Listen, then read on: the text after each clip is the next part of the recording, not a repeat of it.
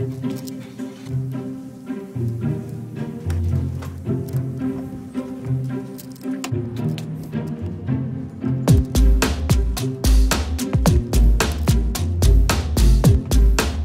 great pleasure, I bring you. You got it. I got it. I got it. So now we can take 16 scoops of pumped a day. We can just take NO7 when we're chilling in our room. It's like Christmas all over again. It's always Christmas. Unless you're Jewish, then it's Hanukkah.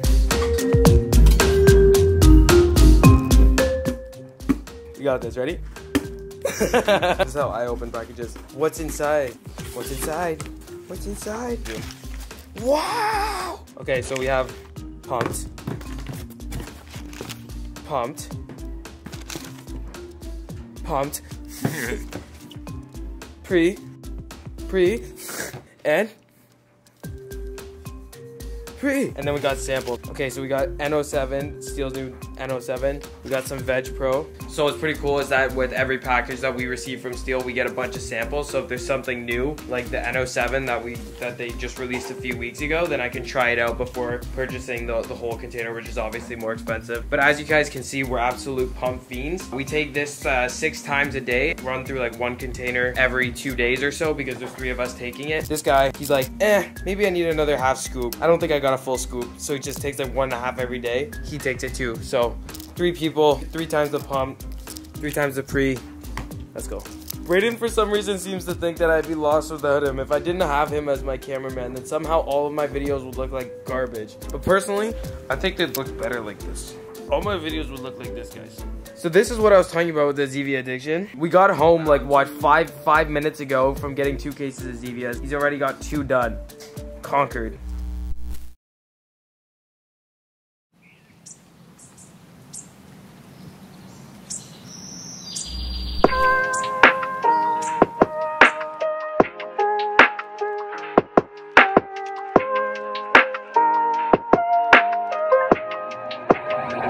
At first I said that I love you and you ain't say that shit back. It's kinda hard to just trust you when both your feelings don't match. Got me showing less emotions, I don't wanna get attached. Once I give you my word, I swear it ain't no going back. Once I give you my heart, you better keep that shit intact. Instead of assuming the worst, girl I'm just here stating facts. You want me to take you back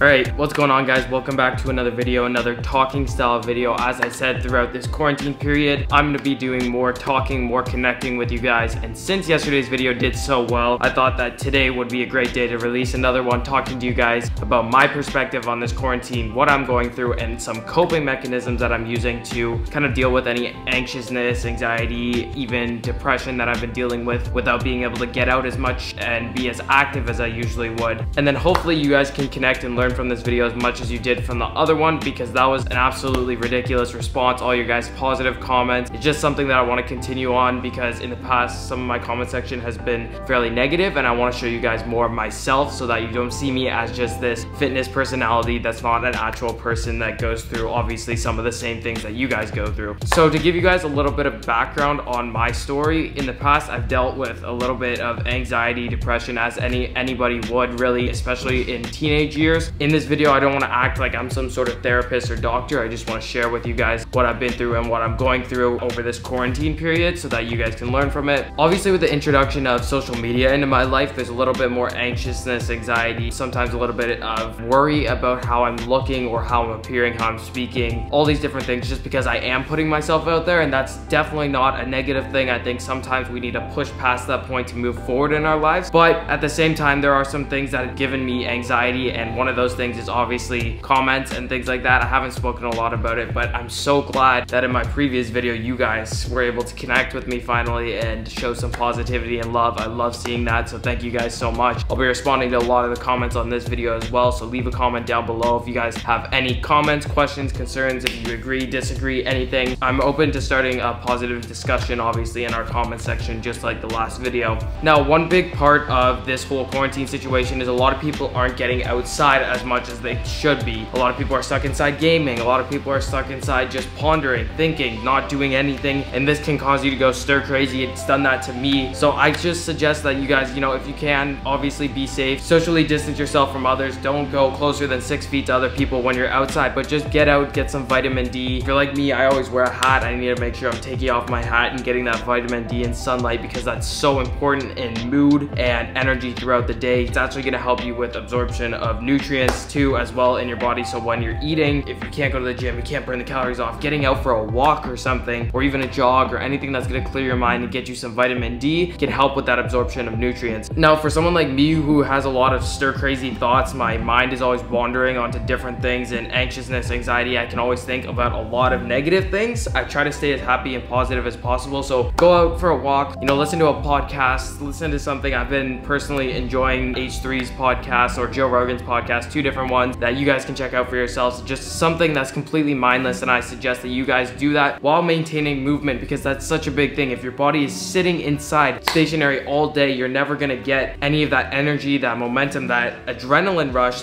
that you get at some point, whether it be being in the gym or being at work or anything that involves active thinking and mobility. So I suggest that you guys go out for a walk, get some sunlight. Another thing that I've been doing is trying to learn a little bit more about one, myself. So I've been doing a lot of reading as well as listening to podcasts and audiobooks on life and positive thinking, all these different things and positive mindset. One book that I strongly suggest that you all you guys read is called A Champion's Mindset. I'm not sure who it's by, but if you search up A Champion's Mindset, I believe that's what it's called. Search it up. It's a great read. It talks to you all about past Olympians' journeys, past pro athletes' journeys, all these different people that you guys can learn from and gives applicable stories exactly as what I'm trying to do to you guys today, show you guys what I've been through so that, you know, you can get better results, you can be happier, you can stay healthy, you can do all these different things. I've been watching and following Stefi Cohen and she's been doing 10 pages a day of reading whatever it is. Obviously, she's doing more studies and stuff because that's what she she's working for. I'm sure she's doing other books as well and I'm finding the balance between, you know, doing studying, doing research, researching my nutrition. How can I get leaner? How can I get stronger, faster, more athletic, higher capabilities of moving forward faster in my training? How can I do all those different things? So grab a book. There's tons of things online. You can go to YouTube, podcasts, as I said. Just learn from that. Use that as a coping mechanism if you're dealing with any anxiety. Get your mind off of whatever it is, whether it be your appearance, your work, financially. I know some of you guys are older audience as well. So just grab a book, read 10 pages a day. That's what Stefi's doing. That's what I'm trying to do. 10 pages a day or maybe like 30 minutes of a podcast. Just take that time and spend that time with yourself. One thing with me personally that I have to avoid is waking up right in the morning, going on social media and looking at the, the comments or the views or stressing about those things. I've been trying to avoid that for the first hour to two hours of my day because I don't want to set myself in that mental state before I go into my day where I'm already negative about something. You know, maybe a video hasn't done as well. My comment section is pretty negative, maybe something like that. Rather than doing that and going directly into that pathway of negativity, I'd rather go on a positive path and go maybe, again, listen to a podcast, read a book. Some of you may be faith-based. I